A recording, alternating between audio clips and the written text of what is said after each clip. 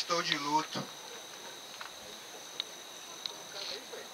Aos inocentes que morrem na favela, enquanto eu vos falo, pelos medíocres aproveitadores que estimulam a meritocracia, filhos com seus pais simbólicos, alunos e suas notas no boletim, políticos sem humanismos, pelos desanimados que teve mais um dia de cabeça baixa e aqueles que não encontram razões para viver.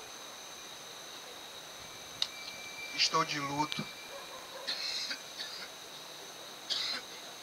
A flor que passou despercebida aos seus olhos, o cão negro oculto que temos que carregar diariamente e os gatos que já não são mais independentes.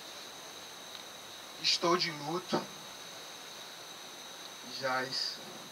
Mas estou de luto mesmo por ver o olhar sincero, o sorriso da criança, ver vocês aqui que acreditam na mudança e faz o tamo junto ser. Poesia que insiste, dá vida e cor ao mundo. Por isso eu luto, senão eu morro.